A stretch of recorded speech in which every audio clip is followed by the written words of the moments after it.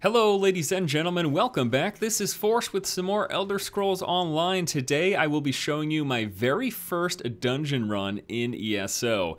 This is called the Banished Cells. Now, I've shown you dungeons and caverns and stuff before, but this is the first legitimate group dungeon that is instanced. This is the, the legitimate group content in this game uh, while you're leveling up. So these are the Banished Cells, and what I'll be showing you here is more or less a full run. I'm cutting out the down downtime and a, a, handful of the trash mobs. I will be showing you some trash mobs. Like here's the first group that we ended up pulling. They pulled the group while I was talking to the NPC. I was trying to get the lore and the story behind this dungeon, but they were like, no, go, go, go. Surprisingly enough though, because for everyone here, uh, all of us, this was our very first run. This is a complete pug. I don't know these guys. We're running a terrible setup. It's 3 DPS and 1 healer. There is no tank here in this group. But we did a pretty good job with CC using stuns, roots, and snares. And uh, since our healer was able to top us off, it ended up being okay. Now this is something that I'm okay with in low level dungeons, but I do certainly hope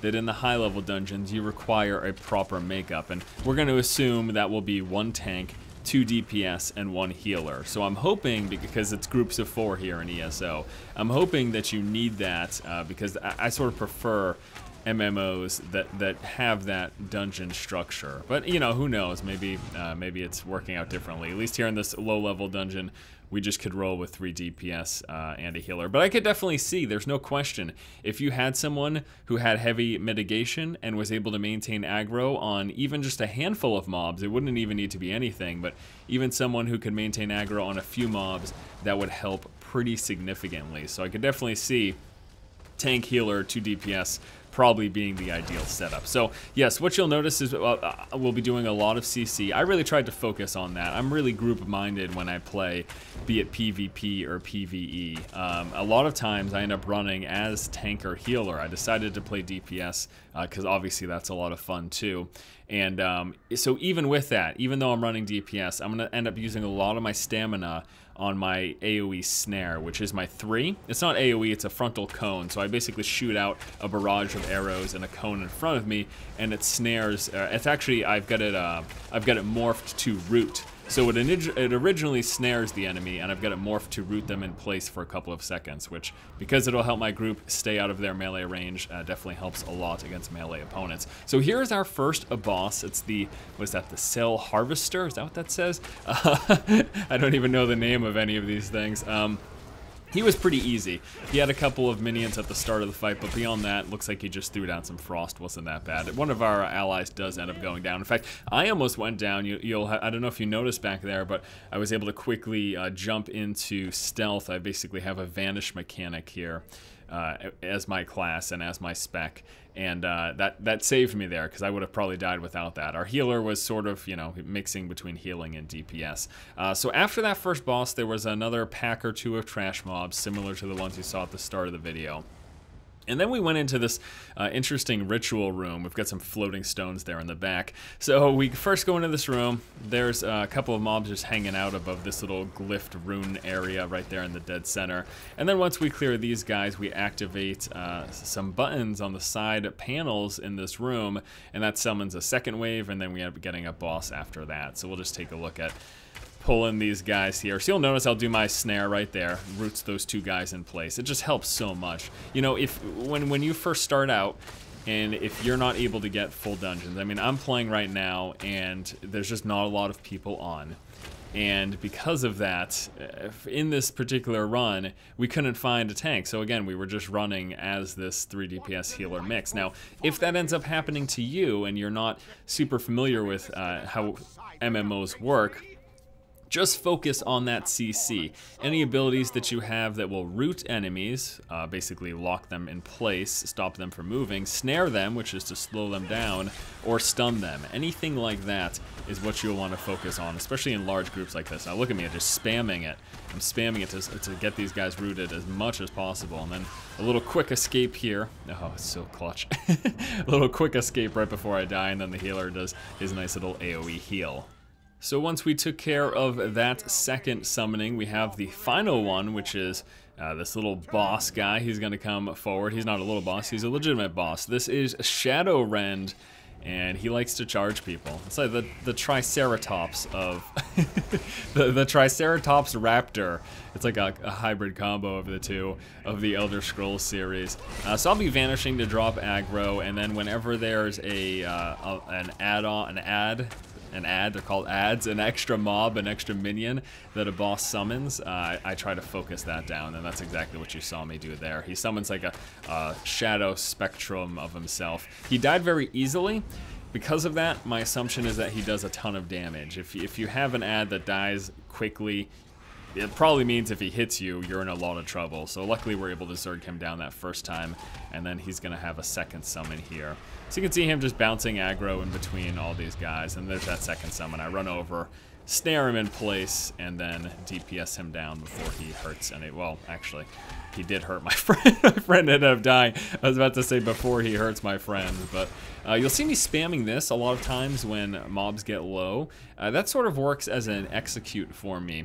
It's essentially ability that it does. It uses up some of my magicka and does a little bit of damage uh, just as a base attack. However, when an enemy is at low health, uh, I don't have a numerical value, I'm guessing it's somewhere between 10 and 20%. When an enemy is at a low health, it does something like 250 or 300% more damage. It's a significant boost in damage. So a lot of times when We've got especially big enemies that are, are very low. I'll be spamming that. Uh, it's like this dagger attack that's also ranged. I have it morphed uh, to be a ranged attack as well. So a little bit of snare here. Here we go with our next boss, uh, snaring these ads. And this is the boss. Oh, let's get ready for a facepalm moment, guys. You're to see it in just one second. So I'm feeling good, you know, take a little bit of damage, no big deal. I don't want to pop my last health potion. This guy casts something, I'm like, I'm fine, I'm fine. And then all of a sudden, Fireball just comes out of nowhere right in my face. And I'm like, oh, that's embarrassing. But luckily, you can res in combat. It is a, a, channel, so it's not something that you can do super quickly. You have to have someone that's standing there, channeling, and they have to actually get it off. Uh, luckily, my ally was able to do so.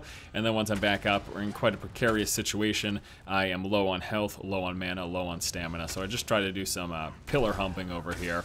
the idea of trying to break line of sight so that you can't uh, be an easy target uh, for any of your opponents. And then we finally finish him off, and then I'm yeah, I'll return the favor. Let's go here and res this guy. It does consume a soul gem, so it's not something that people, you know, you have to have a lot of soul gems if you're going to be spamming it. Uh, but luckily, we only had a few deaths in this entire run. Another pack of trash here as we make our way uh, towards the end of the dungeon. Uh, this was cool, so we had some archers doing their little frontal cone damage. Again, just going with some kiting again, these early level dungeons, you know, I expect them to be simplistic. Uh, it was a good time though. This was uh, quite fun, and the, the, it was really something that I also really enjoyed. It was very engaging. It's so funny doing something like this, and you always have to be on your toes when you're doing something like 3 DPS and a healer. You can't just sort of face roll it. Okay, I believe this is our second to last boss. He had a couple of mobs in front of him. Uh, a few of the bosses that had mobs in front of them, we were able to pull them and kill them before the boss aggroed.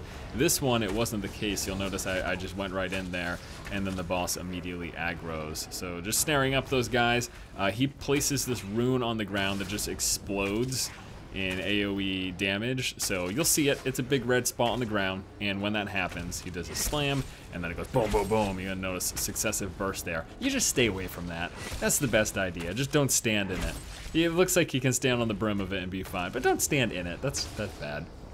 Uh, snares don't appear to work on the bosses, but they have worked on every ad in this uh, in this early level dungeon. But the bosses themselves don't appear to be affected, or at least by roots. Maybe they are affected by snares, but they are not affected by root, uh, rooting them in place. So I'll be going, uh, also going for my stealth there, even when I'm not in danger, because when I leave stealth, uh, my morphed version of that ability uh, gives me, I think, 70% increased chance to crit. So sometimes I'll do that just to get a, a, big hit on an opponent. And check this out, I got this off this boss. Nice. Reduce stamina cost of abilities plus increase to max health pretty darn awesome. Uh, big trash pack before our final boss encounter here. The final boss encounter was pretty neat.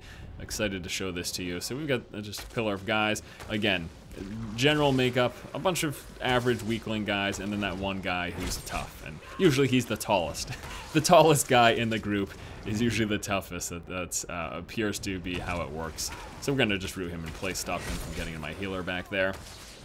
And pop shot a few of these other fools. So I, I'm going to be interested to see. So right now, I am just rolling as an archer. Now, at level 15, you unlock the ability for weapon swapping. It's uh, basically something, you hit the tilde key, and with that, you're able to swap between a weapon set and an additional hotbar. So it's going to be a, a, new weapon layout, as well as five new abilities and a new ultimate. Now, I currently have my second setup as for dual wielding, but the reason I'm not using it at all right now is because I'm still low level.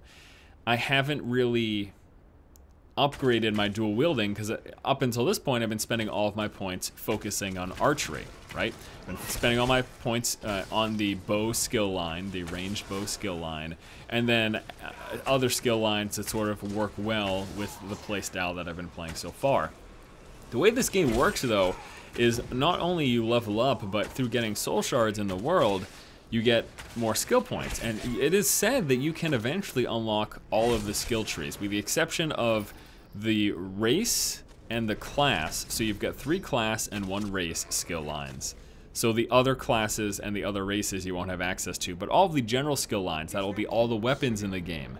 All, uh, almost aggroed the boss because I didn't know he was coming. All of the weapons in the game, all of the armor, uh, the things like the the uh, the Mage Guild, the Warriors Guild, you know, uh, there's PvP skill lines, all that stuff you're gonna be able to unlock. So that's something that as I progress, you know, right now I'm focusing on bow, but once I've maxed that out, I'm going to focus on the dual wielding, and then I will be freely hot swapping. So the point of all that was that I'm not hot swapping, I'm not weapon swapping right now, because my secondary set, it's suboptimal.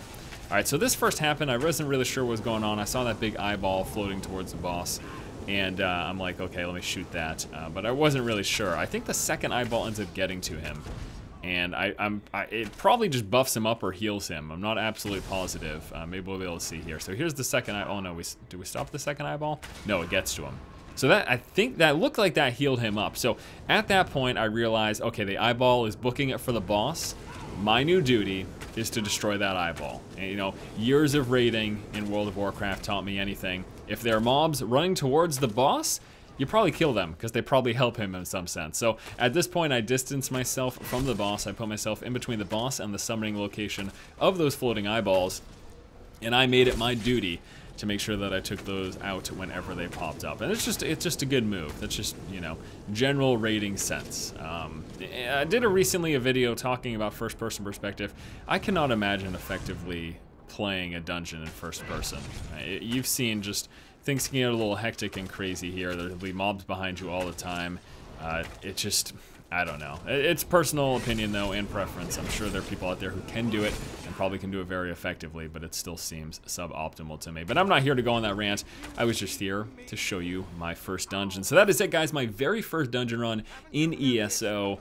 It's pretty typical in the sense that, you know, you've got trash mobs, you've got bosses. Uh, it was still a lot of fun. I really do enjoy the combat. I've heard complaints, uh, you know, there's so many complaints about this game. This is such a, a highly debated title, but I've played it for like 30 hours this week. I've just been thoroughly enjoying my time with it. Uh, the gameplay is a lot of fun. The world's very immersive. If you take your time and actually dive into it, and actually listen to the dialogue and read those books and do all that stuff. Um, I personally have been really enjoying that, uh, playing in that manner.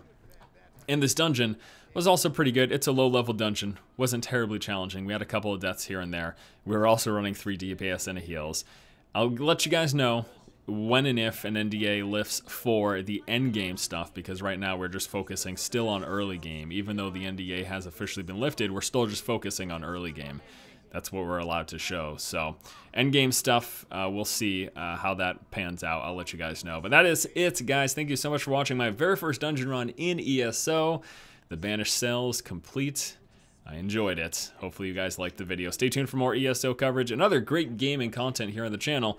Keep watching and keep owning. I got a sweet, well, it wasn't sweet for me because it was freaking, it's just a helm that I don't want. That's heavy armor. That stinks.